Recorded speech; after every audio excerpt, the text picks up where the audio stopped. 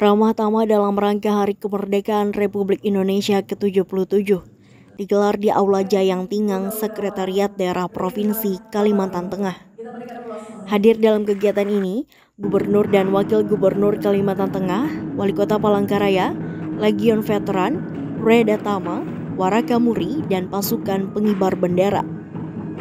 Melalui ramah tamah ini diharapkan dapat jadi momentum untuk lebih memperkuat komitmen jati diri anak bangsa dalam menghargai jasa para pahlawan dan tokoh pejuang demi kemerdekaan, kemajuan pembangunan khususnya di Provinsi Kalimantan Tengah. Pada kegiatan ini, pemberian tali asih oleh Gubernur Kalimantan Tengah diberikan kepada Legion Veteran Palangkaraya, Paskibra, berikut piagam penghargaan untuk pelatih pasukan pengibar bendera.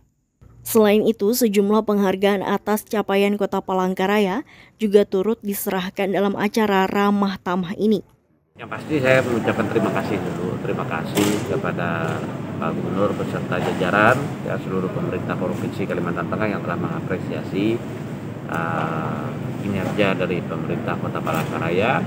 Ini juga berarti saya sembahkan, saya dedikasikan kepada seluruh jajaran juga keluarga besar pemerintah Kota Palangkaraya Jakarta yang bekerja itu adalah perangkat daerah ya harapan saya mudah-mudahan ini jangan menjadi hanya apa kepada perangkat daerah di kota Palangkaraya tidak hanya menjadi seremonial tetapi tetap uh, menjadi momentum semangat ya tadi baik dari pencegahan untuk PMK vaksinasi dan juga COVID. Turut hadir dalam acara ramah tamah ini Ketua TPPKK Provinsi Kalimantan Tengah Ivo Sugianto Sabran, Wakil Ketua DPRD Abdul Razak, Forkopimda dan pejabat pemerintahan Provinsi Kalimantan Tengah. Banua TV, Kota Palangkaraya, Kalimantan Tengah, melaporkan.